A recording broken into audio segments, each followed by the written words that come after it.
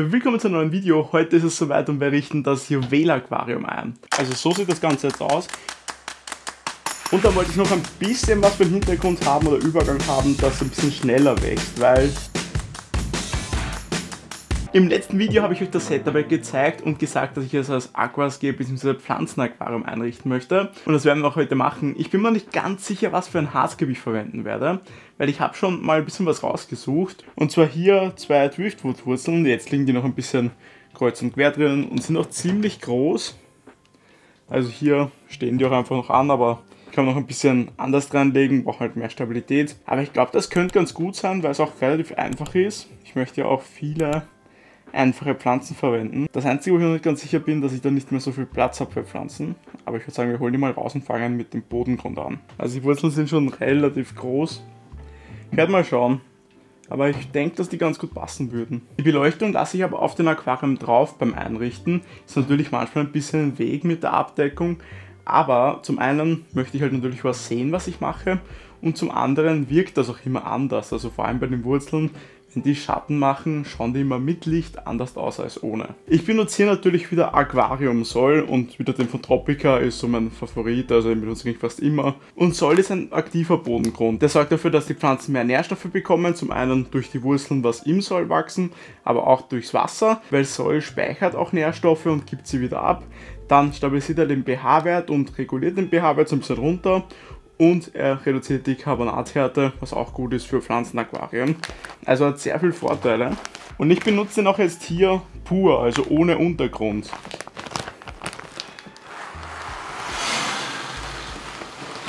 Also sobald ich über 10 cm Bodengrund haben möchte, benutze ich noch Lavabruch als Unterbau. Aber wenn ich eh nur bis maximal 10 cm aufschütte, so wie ich es hier machen werde, benutze ich nur den reinen Soll. Ich habe hier noch einen offenen Sack. So, das Soll jetzt vorne ca. 2-3 cm hoch und hinten, ich denke mal so 4, 5, 6 cm hoch. Also auch ein Aufstieg nach hinten, sodass das Ganze ein bisschen mehr Tiefe bekommt, aber nicht so extrem. Wird ja ein relativ einfaches Nature Aquarium und da braucht man gar nicht so eine hohe Steigung. Das macht das Ganze noch ein bisschen schwieriger. Deshalb mache ich nur einen leichten Anstieg nach hinten aber gar nicht so viel. Und jetzt ist die Frage, ob ich diese Wurzeln wieder verwenden soll. Aber ich hole zuerst noch Steine. So, ich habe noch ein paar von den schwarzen Lava Pebbles von. Das sind wasserneutrale Steine, also sind Basaltgestein, Lavagestein, was so rund gespült ist. Und davon habe ich auf jeden Fall ein paar da, aber nicht so viele. Aber halt einen sehr großen. Der ist sehr nice auf jeden Fall schon mal. Also ich bin mir echt unsicher. Ich glaube, dass die Wurzel einfach zu groß ist, also das Driftwood, was ich hier habe. Das ist einfach zu massiv. Jetzt habe ich hier noch eine von den Talava-Wurzeln und die habe ich jetzt auch überlegt, wenn man irgendwie sowas hier draus macht. Oder hier habe ich auch noch Wurzeln, zum einen vom 120p, also so kleineres, dünneres Driftwood. Also so etwas.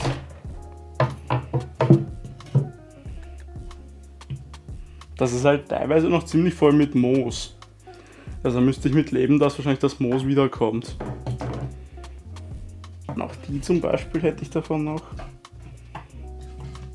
Vielleicht doch die.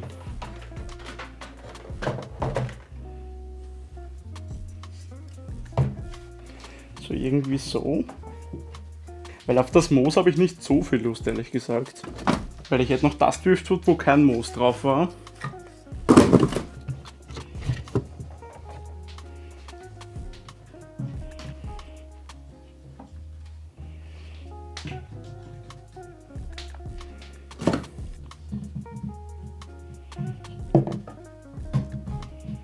Also ich glaube, das funktioniert so.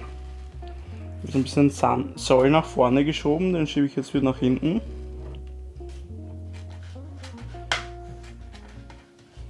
Also so sieht das Ganze jetzt aus. Ich habe versucht halt bis nach oben das Hardscape zu bauen, also bis fast nach oben, dass das Aquarium halt wirklich auch voll ist, aber trotzdem noch viel freie Bereiche hat, so wie hier der Bereich, dass der hier frei ist, wo Pflanzen sind. Und auch wenn man von oben schaut, habe ich hinten ziemlich viel Platz für Pflanzen und vorne ein bisschen weniger, aber auch Platz, dass ich halt nach unten greifen kann. Hier ist die einzige Stelle, wo vielleicht ein bisschen schlecht wird zum Scheibenreinigen. Aber das ist nicht so schlimm. Und auch hier ist auch noch Platz. Und hier hinten komme ich über die Hinterseite hin, dass ich auch überall hinkomme zum Pflanzen, Schneiden und so weiter und zum Einsetzen vor allem auch. Die Wurzeln hier sind Driftwood und die hier wiegt so ca. 2 Kilo und die so 1 Kilo circa. Ich würde sagen so 2,5 bis 4 Kilo braucht man für so ein Aquarium. Kommt immer ein bisschen auf die Wurzeln drauf an. Ähm, ist immer ein bisschen unterschiedlich. Und auch die Steine sind jetzt die Lava Pebbles. Ich würde sagen, die wiegen so ca. 10 Kilo, weil der große schon ziemlich schwer ist. Ich habe leider keine mittleren mehr, aber ich glaube, es reicht trotzdem. Weil ich möchte ja auch viele Pflanzen haben. Und wenn ich jetzt zu viel Steine benutzen würde, hätten die auch einfach keinen Platz mehr. Aber so ein, zwei kann man noch platzieren. Und das reicht erstmal. Vielleicht habt ihr es jetzt auch schon ein bisschen mitbekommen. Die, Steine, die Wurzeln und so halten nicht von alleine, die verrutschen immer wieder mal. So wie hier jetzt. Und das möchte ich halt im laufenden Aquarium nicht haben. Und die Wurzeln würden auch auftreiben. Deshalb verklebe ich die jetzt. Dafür benutze ich den flüssigen Sekundenkleber von Microblift, den Planescaper und Wattepads. Dann nehme ich mir einfach ein Stück von dem Wattepad, stecke das zwischen die Wurzeln oder zwischen die Steine und tropfe ein bisschen Sekundenkleber drauf, also dass das ganze Wattepad richtig gedrängt ist. Und das trocknet innerhalb von wenigen Sekunden, maximal eine Minute oder so. Dann ist es bombenfest und hält. Das mache ich jetzt bei einigen Stellen, damit das wirklich gut hält. Man kann das entweder jetzt irgendwie mit irgendwie Sägespäne oder so verdecken oder mit Zoll oder nachher einfach Pflanzen drüber setzen. Also ich weiß schon, dass ich hier überall Aufsetzerpflanzen haben möchte. Deshalb mir nicht so viel Gedanken, weil ich setze hier einfach irgendeine Pflanze drauf. Und hier ist es so, je akribischer man jetzt das Ganze verklebt, desto weniger Sorgen hat man später. Weil später ist es immer ärgerlich, wenn auf einmal irgendeine Wurzel abbricht und verrutscht. Und jedes Mal, wenn man irgendwas im Aquarium macht, muss man die Wurzel wieder ausrichten oder irgendwelche Pflanzen schwimmen auf, weil das Hardscape verrutscht. Deshalb lasse ich mir da Zeit und verklebe alles gut.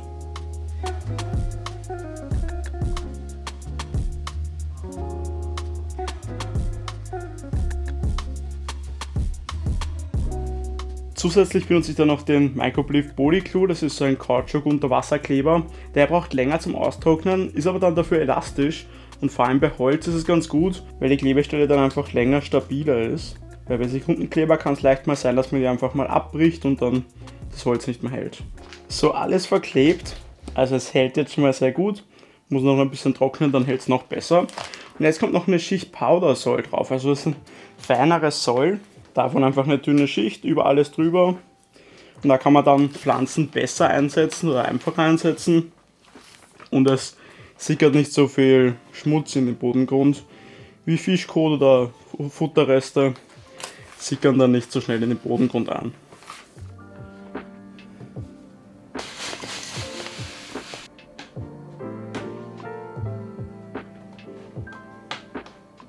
Und so Ecken mache ich dann noch mit dem Soil Scoop Gibt es bei mir im Shop, ähm, könnt ihr bestellen.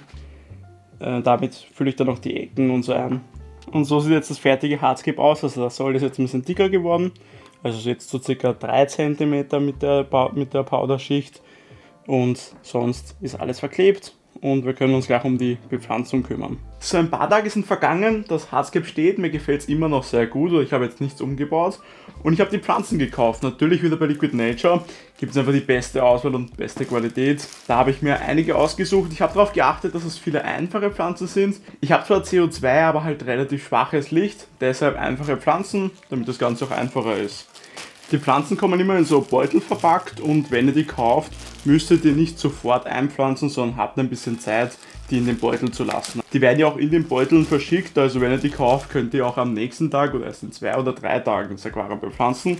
Wichtig ist nur, dass wenn ihr nach Hause fahrt, das Auto da nicht in der Sonne steht, wenn ihr irgendwo noch dazwischen woanders hinfährt, weil dann wird es ziemlich warm und das mögen die Pflanzen nicht so. Ich habe hier zum einen einige Topfpflanzen gekauft und auch ein paar In-vitro-Pflanzen.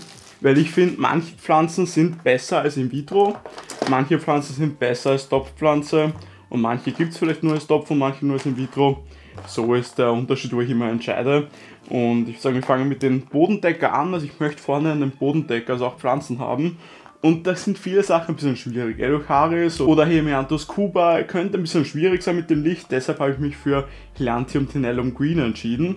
Ist eine relativ einfache Pflanze, was aber auch einen schönen Bodendecker macht und auch mit wenig Licht kommt die auch gut zurecht. Also die kommt immer in so ein Nährmedium, den nehme ich raus, tropfe sie so ein bisschen ab und sie in den ähm, Becher mit Wasser, schütte das Nährmedium hier rein und davon habe ich 1, 2, 3, 4 Stück also einfach so im Wasser durchspülen und dann hole ich mir die raus. Das sind mal Selantium.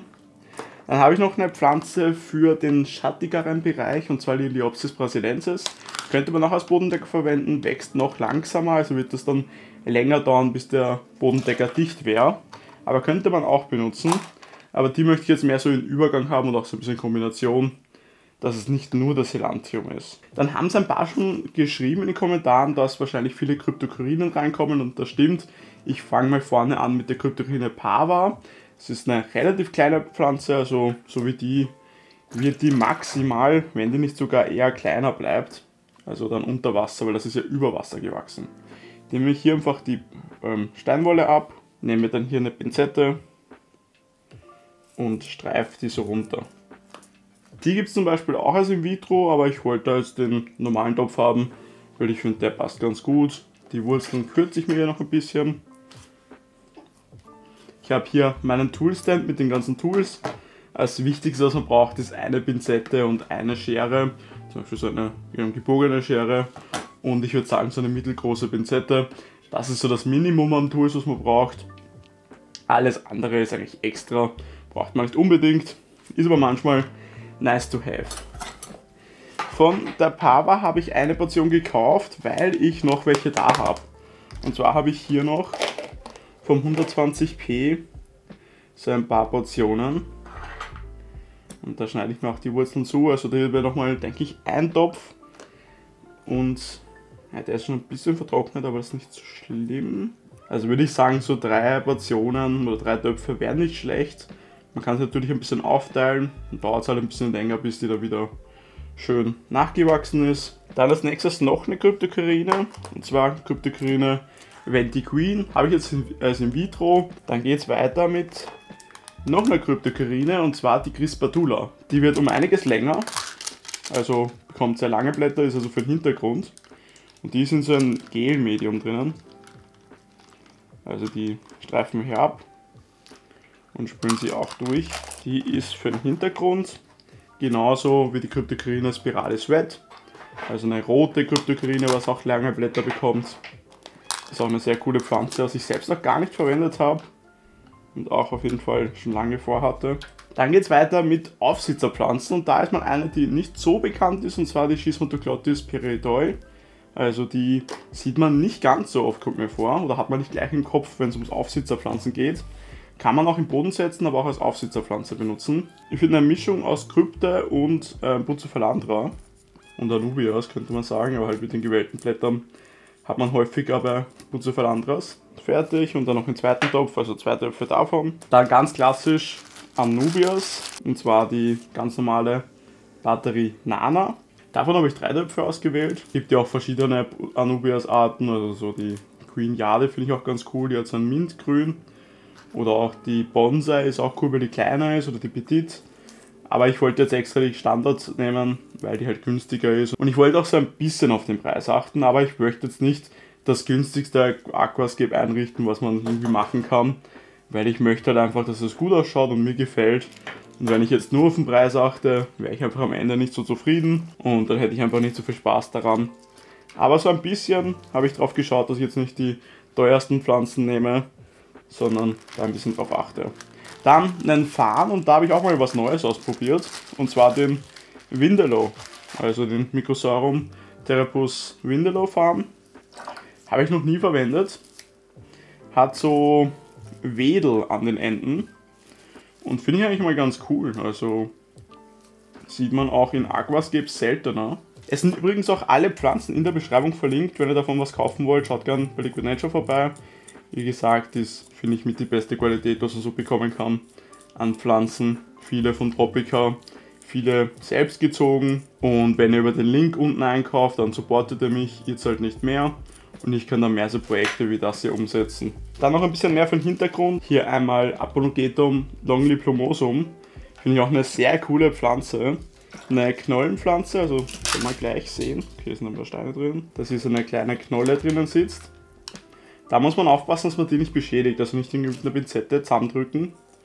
Und auch eher die Wurzeln dann einsetzen und die Knolle so rausstehen lassen.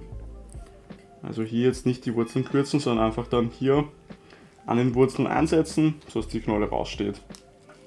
Aber ist auch eine richtig schöne Portion. Manchmal bekommt man nur die Knollen oder nur so ein, zwei Helme. Ist halt je nachdem, wie sie gerade gewachsen ist. Und dann wollte ich noch ein bisschen was für einen Hintergrund haben oder Übergang haben, dass ein bisschen schneller wächst. Weil, wenn man jetzt ein pflegerechtes Aquarium haben will und dann nur sehr langsam wachsende Pflanzen auf, einsetzt, also nur Aufsitzer, hat man am Anfang tendenziell eher Probleme mit Algen und dass das Aquarium stabil läuft. Und wenn man mehr Pflanzen hat, die schnell wachsen, verbrauchen die viele Nährstoffe das Aquarium läuft stabiler. Deshalb muss man da ein bisschen schauen, dass man eine Kombination macht aus langsam wachsenden Pflanzen, aber vielleicht auch so ein paar schnell wachsende Pflanzen. Ich habe jetzt hier Bacopa caroliana, ist nicht so am allerschnellsten, aber schaut finde ich sehr cool aus und ich finde eine Stängelpflanze, wenn man die so alle drei, vier Wochen mal zurückschneiden muss, ist es nicht so schlimm, wenn das Aquarium dafür viel stabiler läuft. So, jetzt geht es ans Bepflanzen. Da gibt es eine Sache, die finde ich sehr wichtig ist, und zwar den ganzen Bodengrund zu besprühen.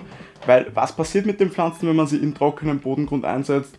Die Wurzeln trocknen aus. Und je nachdem, wie lange man braucht, kann es sein, dass dann Pflanzen kaputt gehen. Und das möchte ich auf jeden Fall ausschließen, dass wenn Pflanzen schmelzen, dass ich mal weiß, es ist nicht, weil die Wurzeln ausgetrocknet sind. Deshalb alles gut besprühen und wirklich feucht machen bei so größeren Aquarien kann man auch einfach mit einem Messbecher schon mal ein bisschen Wasser reinschütten. Dann saugt sich der ganze Boden schon an. Und jetzt nehme ich mir eine Pinzette, ein bisschen eine größere, also nicht die kleinste, und fange mal an mit dem Vordergrund. Also ich fange immer vorne an zu bepflanzen, weil wenn ich jetzt hinten die Pflanze einsetze, hängen sie nach vorne und sind mir im Weg. Und vorne ist es auch tendenziell feuchter und trocknet die auch nicht so schnell aus. Also ich habe die ganzen Pflanzen jetzt nicht aufgeteilt, sondern einfach nur vorbereitet, also einfach nur abgewaschen. Und ich nehme die jetzt auseinander und reiß die jetzt so ab und mache mir hier so Portionen. Man kann die jetzt richtig klein aufteilen und jeden Halm gefühlt einzeln setzen. Finde ich es nicht so gut, weil da zerreißt man zu viele Wurzeln und beschädigt die Pflanze. Ich mache da immer so um die Daumen dicke Portionen. Bei den Helantium geht es fast besser, wenn die ein bisschen größer sind. Und dann fange ich an zu bepflanzen. Und ich fange jetzt nicht an, mal eine Ecke komplett zu bepflanzen, weil sonst komme ich irgendwo hier an und merke, ich habe fast keine mehr und habe dann eine Portion, was ich hier aufteilen muss. Deshalb fange ich an, kreuz und quer zu pflanzen.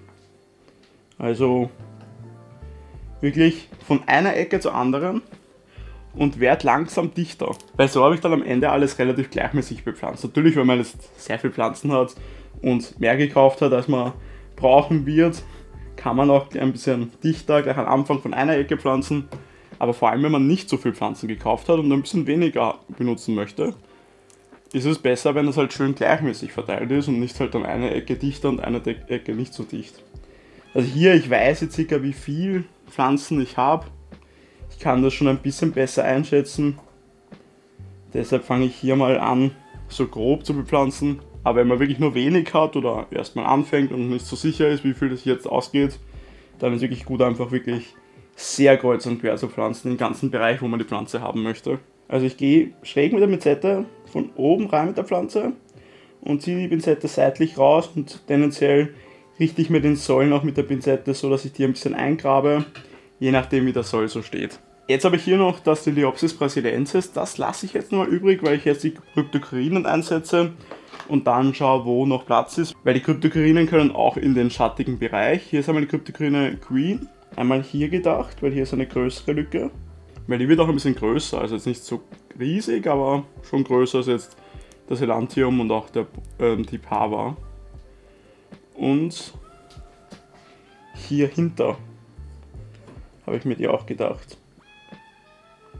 Dann hier die Pava, die soll in den Übergang gehen von Helantium zu den Steinen sind zum Beispiel hier. Kann man sich auch einfach so aufteilen, damit man mehr Portionen hat. Dann hier davor.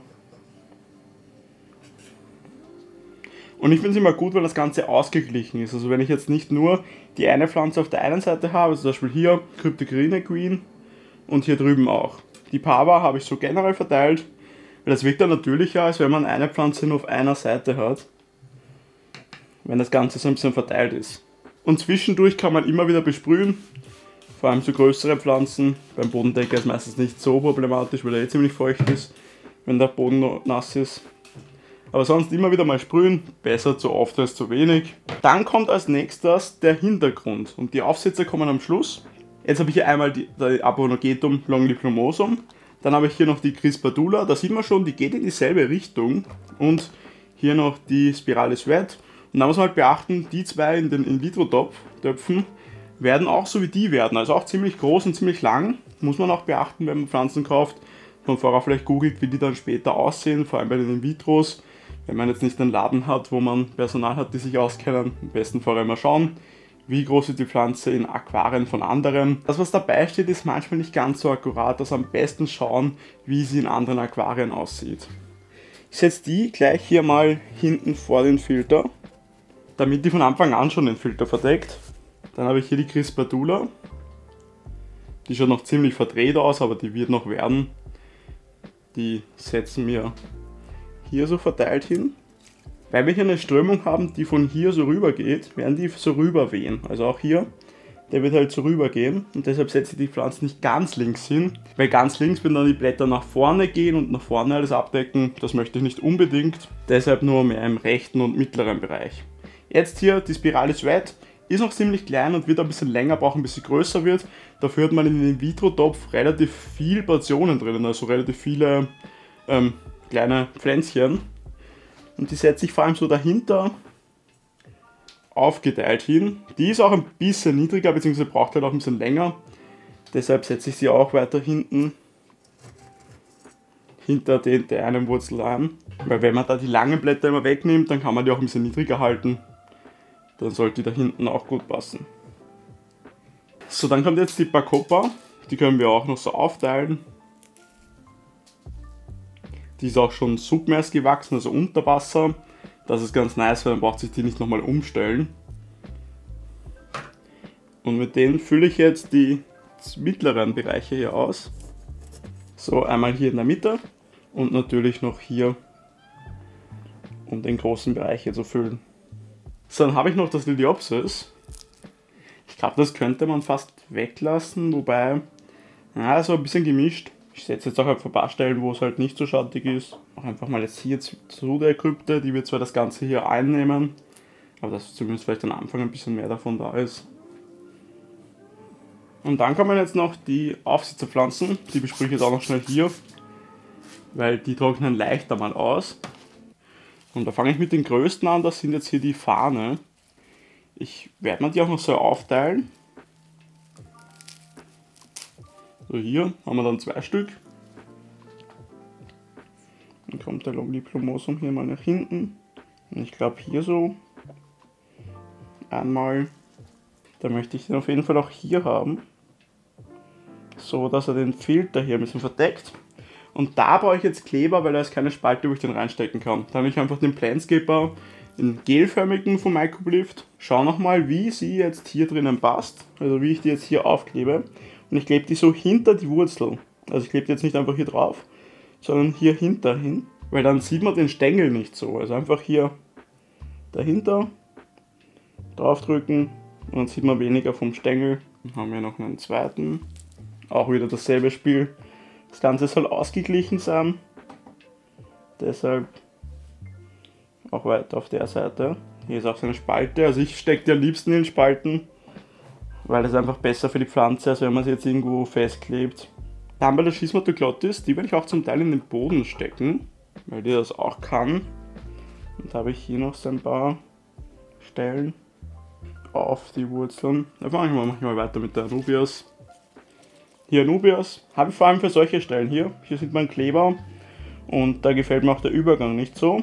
Stecke ich einfach eine Anubias dazu und das Ganze schaut gut aus. Dann natürlich wieder auf der Seite. Dann hier oben, das verdeckende Filter auch nochmal mehr. Und dann haben wir noch eine zum Kleben. Hier. Dann haben wir noch eine Schießmutter gratis. Und jetzt natürlich, bis wir das Ganze mit Wasser voll befüllt haben, immer wieder besprühen. Also am besten gleich mal besprühen, dass auch die Aufsitzer feucht sind und die Wurzeln davon. Dann zu befüllen, machen wir den Trick mit der Küchenrolle. Ja, können wir gleich den Rest hier nehmen.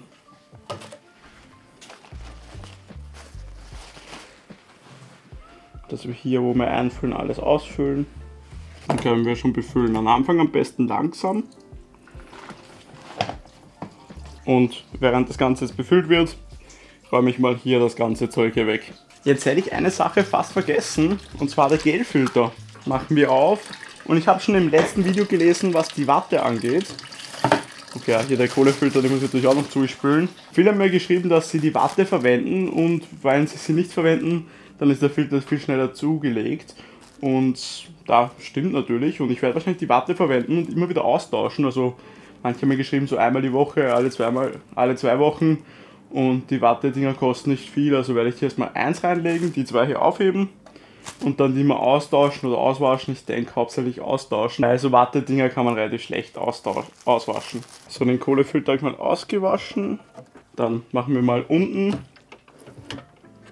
auf den ganzen Filtermedien einen Gelfilter drauf und dann hier noch.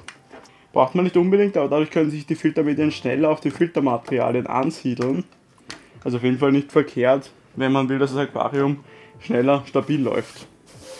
Ich werde jetzt kurz warten und langsam auffüllen, dann dauert das eh so 10-15 Minuten, wenn ich da nur ganz leicht aufdrehe und dann können die auch gut einwirken, also soll so 15 bis 30 Minuten auf dem Filtermedium drauf sein, bevor man es befüllt, deshalb ganz langsam befüllen. Während das Aquarium hier langsam voll läuft, machen wir mal das CO2. So habe ich euch schon im letzten Video gezeigt, ich möchte die chemische CO2-Anlage von AK benutzen, weil die einfach am einfachsten ist. Ich brauche immer nur die Boxen hier da haben und kann sie immer nachfüllen. Wenn sie leer wird, dann brauche ich nicht irgendwo hinfahren, die Flasche zu tauschen. Und das geht auch ziemlich einfach. Und zwar hat man hier zwei Komponenten, einmal Komponente A, einmal Komponente B. Hier ist auch so ein Trichter dabei.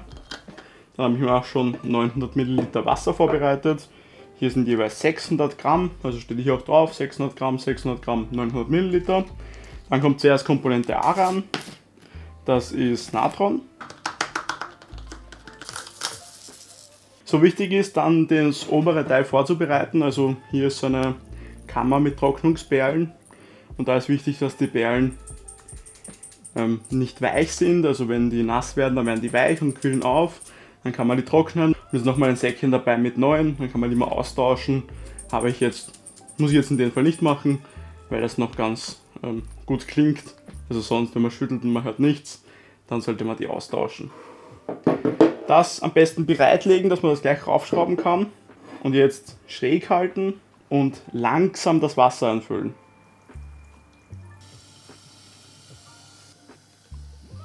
So, und dann gleich draufschrauben.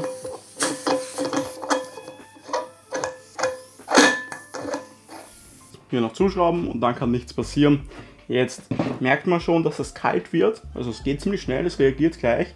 Wichtig ist, nicht schütteln, weil sonst kommt die ganze Flüssigkeit auch hier in den Druckregler rein und dann sind die Trocknungsperlen zu. Das sollte man nicht machen. Ich mache jetzt dann immer so, dass ich hier ein Handtuch oder was nehme, dann die Flasche draufstelle, erstmal ein paar Stunden hier stehen lasse und dann installiere ich sie im Aquarium. Hier mit dem Blasenzähler, da können wir Wasser einfüllen. Wichtig ist, dass man da Osmosewasser einfüllt, also jetzt nicht irgendwie Leitungswasser, sonst verkalkt das da drinnen. Also ich befülle das Aquarium auch mit Osmosewasser kann ich das gleich vollfüllen. Das ist mir da, um das mal grob einzustellen und zu überprüfen, ob CO2 kommt. Also es muss nicht unbedingt Wasser drin sein, also es funktioniert auch ohne. Und zum genauen Einstellen brauchen wir eh noch was anderes. Dann können wir das hier so draufstecken. Hier haben wir dann Schlauch dabei, der zum Aquarium führt, zum Diffusor. Es ist ein Glasdiffusor dabei, der gefällt mir optisch nicht so. Ah, man kann den trotzdem benutzen, dann braucht man keinen extra kaufen. Aber ich benutze aber gern den Edelstahl von AK. Also der ist auch richtig nice. Kann man auch einfach hier dann reinstecken, dann ist es fest. Kann das leicht abziehen, einfach hier reindrücken und rausziehen. Dann kann man den reinigen, man kann hier die Membrane rausschrauben und in Chlor einlegen zum Reinigen. Dann schaut die wieder so aus wie hier, komplett weiß, habe ich letztens gemacht. Und der gefällt mir um einiges besser. Den werde ich gegenüber vom Filter installieren, also links in der Ecke. Und dann brauchen wir noch was, um das CO2 genau einzustellen, um zu wissen, wie viel CO2 ist jetzt im Aquarium. Und dafür brauchen wir noch einen Dauertest und der ist leider nicht in dem Set dabei. Finde ich nicht so gut, also das wäre noch gut, wenn der dabei wäre, weil den braucht man eigentlich schon, wenn man ein Aquarium hat mit CO2 und mit Fischen oder generell mit CO2. Hier gibt es aber ein Set von AK, da ist ein Dauertest und die Testflüssigkeit drinnen. Die schreibt man einfach auf, dann kann man die hier so reintropfen. Das erste Stück geht immer ein bisschen am besten langsam, dann bleibt es auch nicht stecken. Und es ist im Grunde egal, wie viel man einfüllt. Wichtig ist, dass zwischen der Flüssigkeit und dem Aquariumwasser ein Luftpolster ist, weil das CO2 aus dem Wasser geht in die Luft rein und diffusiert in die Luft und dann verändert der CO2-Gehalt in der Luft den pH-Wert der Flüssigkeit und dann wird er langsam grün und wenn es mehr wird, dann auch gelb, wenn zu viel CO2 ist. Den platziere ich mir gegenüber von der CO2-Versorgung. Also ich habe jetzt links hinten den CO2-Diffusor und rechts vorne werde ich mir den platzieren Jetzt vor allem am Anfang, damit ich ihn gut sehe, damit ich das CO2 dann erstmal einstellen kann. Später kann man den auch ein bisschen verstecken, aber ich lasse den meistens vorne, dass ich immer gleich sehe, wenn zum Beispiel das CO2 aus ist oder irgendwas nicht passt, sehe ich, wenn es blau ist, mitten am Tag, so nach der halben Zeit von der Beleuchtungszeit, dann weiß ich, irgendwas stimmt nicht, vielleicht ist die CO2-Anlage leer, weil der Dauertest funktioniert immer ein bisschen langsamer. Also wenn ich jetzt CO2 einschalte, wird er nicht sofort grün werden, sondern es dauert ein bisschen. Ich mache es immer so, dass ich schaue, dass der CO2-Dauertest so circa von der Hälfte von der Lichtdauer, also wenn ich jetzt 6 Stunden beleuchte, sollte er nach 3 Stunden grün sein und nicht irgendwie bläulich grün, sondern wirklich grün. Wenn ihr es nicht erkennen könnt, schaut vielleicht, dass ihr irgendwas Weißes dahinter haltet und schaut, ob das funktioniert. Wenn das auch nicht funktioniert, dann, dann wechselt man die Flüssigkeit, vielleicht ist es mit Wasser vermischt, dann kann es auch sein, dass irgendwie nicht so gut funktioniert. Und auch die Höhe ist wichtig, weil CO2 steigt ja nach oben. Deshalb ist, wenn ihr den ganz oben montiert, eher mehr CO2 im Wasser. Wenn ihr den unten montiert, eher weniger. Ich mache den immer so auf die Hälfte, dann hat man so einen Durchschnitt.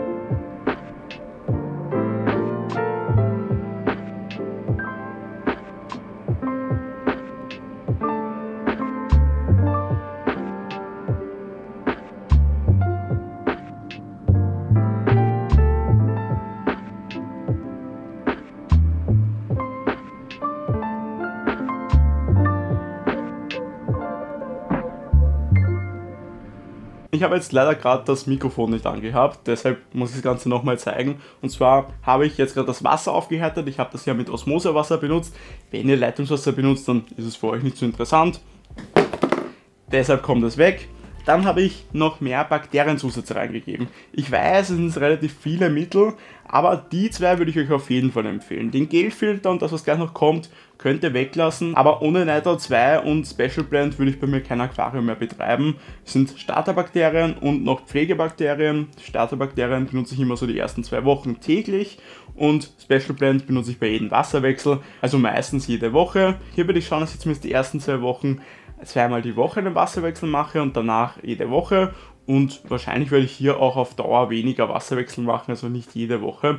Aber die ersten Wochen, vor allem wenn noch viel Holz drin ist, werde ich das versuchen jede Woche zu machen. Ansonsten gibt es auch noch den Bacto-Shot von AK, den benutze ich ab und zu mal, wenn ich Probleme im Aquarium habe. Das bindet Schadstoffe, sorgt dafür, dass das Aquarium ganz klar wird. Also wenn man ihn reinschüttet, das kann ich das mal zeigen, wichtig ist vorher gut zu schütteln, aber wenn man den reinschüttet, macht das das Ganze ein bisschen milchig, aber ein paar Stunden später oder einen Tag später ist das Aquarium glasklar, weil das bindet so Schwebstoffe, die fallen dann zu Boden und im Idealfall saugt der Filter sie ein und bindet auch Medikamente, also auch nach Medikamenten kann man es verwenden.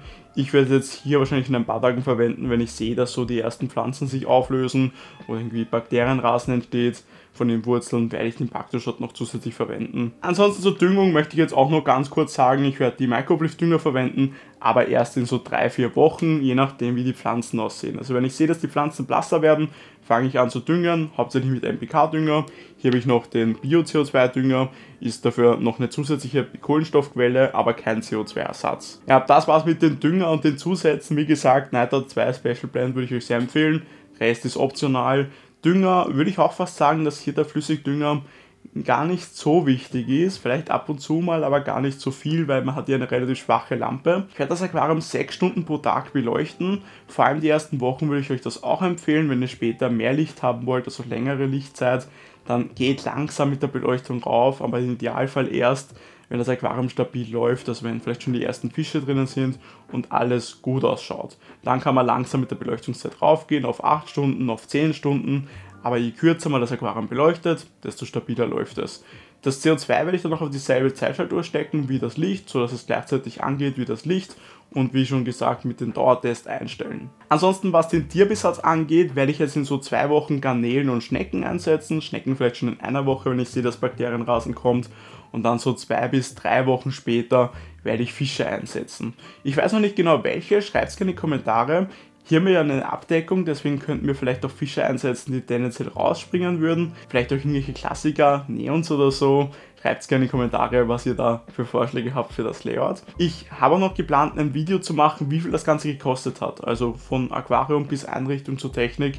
Also da wird es noch ein Video geben, wo ich euch das genau aufschlüssel, was alles kostet. Ich denke, ich werde auch schauen, dass ich so die Pflegeprodukte sowie Nitro 2 und Dünger und so auch mit einrechne, damit es halt realistisch ist was man so braucht für ein Aquascape, wenn man vielleicht auch noch nichts zu Hause hat. Ansonsten würde ich jetzt sagen, vielen Dank fürs Zuschauen. Wenn ihr jetzt sehen wollt, wie ich das ganze Setup finde und wie ich das Ganze aufgebaut habe, dann klickt in das Video rein, da zeige ich euch das Ganze und sage euch meine Meinung, wie mir das gefällt. Und dann bis zum nächsten Mal.